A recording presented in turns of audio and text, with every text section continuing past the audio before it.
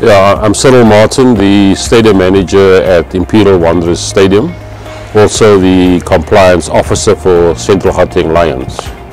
Yeah, with the advent of uh, the pandemic, COVID-19, uh, obviously there was a, a, need to, to make changes in the way we do things.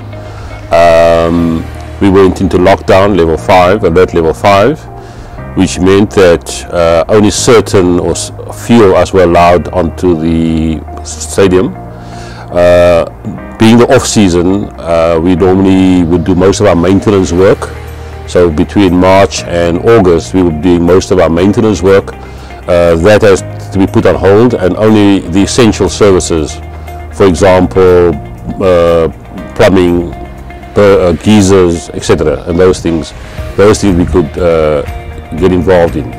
Then also from, um, we also had to get the staff to come on site, those who were essential, uh, especially in the case of our ground staff.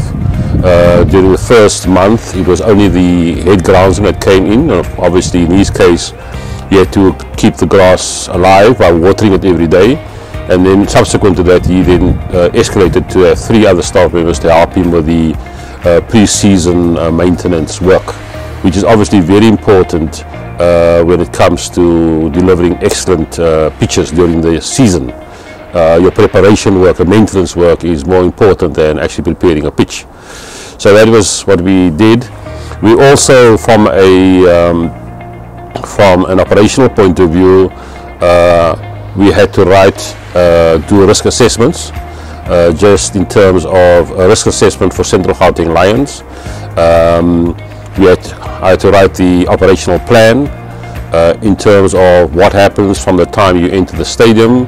For example, you arrive at the stadium, you, your temperature is taken, the screening takes place, your temperature is taken, um, your uh, assessments, the, the questions that we would normally would ask, uh, and in our case, it was very important, although we would only become active in alert level one, uh, it was essential for us to get involved already from alert level four, uh, purely because we have essential other essential services on site.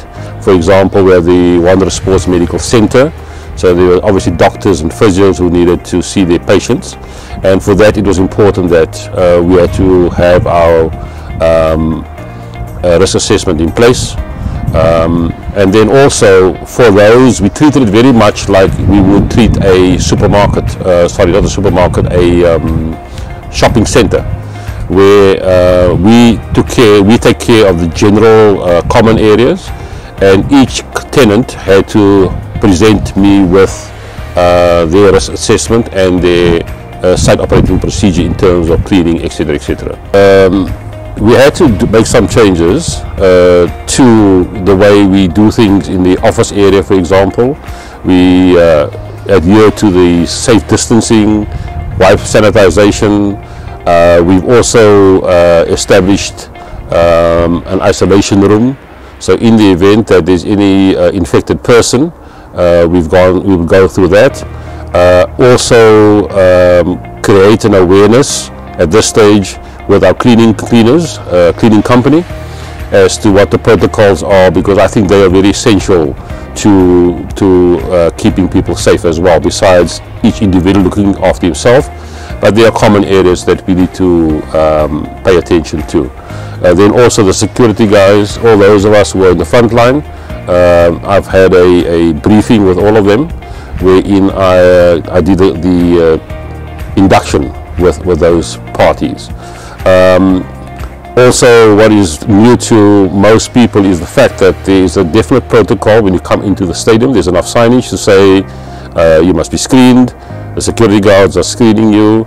Um, and there is this where you actually, um, whether you're a player, the CEO, uh, the stadium manager, it does not matter who you are in this place, you first go to the, your first port of call will be to the screening area where your temperature and your um, those questions are being asked.